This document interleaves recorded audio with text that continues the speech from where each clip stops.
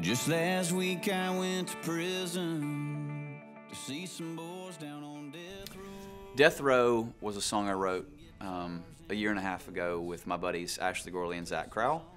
And if you listen to Country Again Side A, there was a song on there called Blame It on a Back Road. And this, Blame It on a Back Road and Death Row were actually written in the same day, which you're probably asking yourself, how in the world do you get from Blame It on a Back Road to Death Row? And I was asking myself the same question. But I, I walked over there, and after we'd finished Blame It on a Back Road, I was like, man, I've got this idea that um, is pretty heavy, and I don't really know how to write it. But uh, the previous December, me and Tyler Hubbard and Russell Dickerson had gone on a uh, somewhat of a, a mission to the men's prison here in Tennessee, and we were bringing our guitars and uh, walked through like 12 different security doors, and we sat down, and I was like, "What? In, what are we gonna play?" You know, um, and there were like 40 or 50 inmates in there, and I just put out a Christmas song called Christmas in the Country, and I was like, where do y'all want to start? And they literally said Christmas in the Country, and I was like, how in the world do y'all know this song?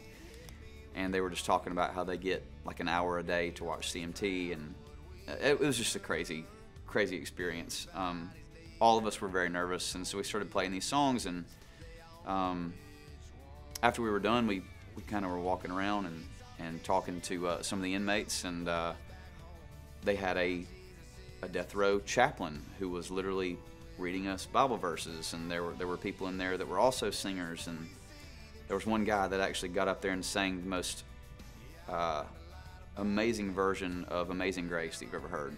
Um, and we left there like not sure what to feel, except for the fact that obviously they've made some pretty crazy mistakes. Uh, but in a, in a weird way, all of us have. And there's parts of our lives that we're ashamed of, and there's parts of our lives that we're not ashamed of. And so there's a part of me that was like, man, I feel like I learned a lot about how to live in the future from the folks we met on death row. Um, I don't really know how we got there, uh, but we started. I started literally just describing this hour-long stint playing for people who knew that they were going to die and the day that they were going to die, which sounds really morbid, um, and it is.